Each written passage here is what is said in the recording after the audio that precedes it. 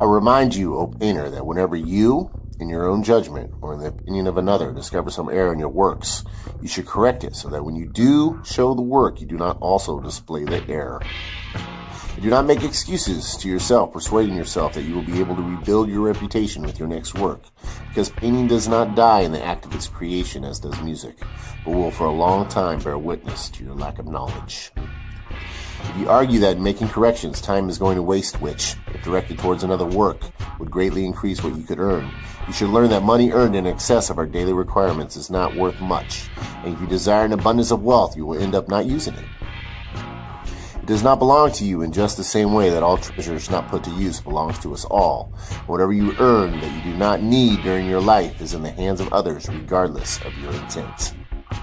But if you will study and perfect your works in line with the theory of the two kinds of perspective, you will leave behind works which will bestow upon you more honor than money would do.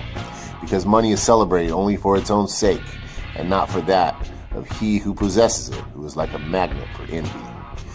He is a target for thieves, and he loses his reputation as a wealthy man along with his life, and the fame of the treasurer and not the treasurer remains.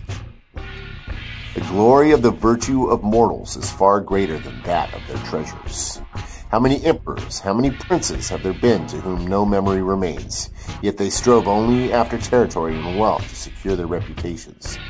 How many have there been who lived in material poverty in order to enrich their lives with virtue? The poor man has been as much more successful than the rich in this goal, as virtue surpasses wealth. Do you not see that treasure in itself does not heap praise on its accumulator after his life is spent, as this knowledge, which continues to provide testimony and memorial to its creator because it is the daughter of whoever engendered it, and not a stepdaughter like money? If you say that by means of such treasure you could better satisfy your earning for gluttony and excess, and that you could not do this through virtue, consider others who have satisfied only the filthy desire of the body like other base animals. Where is their renown? Your excuse is that the struggle against poverty has left you no time to study and truly ennoble yourself, blame no one but yourself, because it is the study of virtue that is food for both body and soul. How many philosophers have there been who have been rich, but who have given their fortune away so as not to be corrupted by it?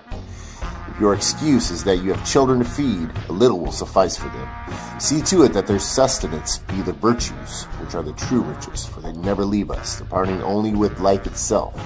If you say you wish first to accumulate some capital wealth as an endowment for your old age, I say the pursuit of virtue will never let you down, nor let you grow senile, and the haven of the virtues will be filled with dreams and vain hopes.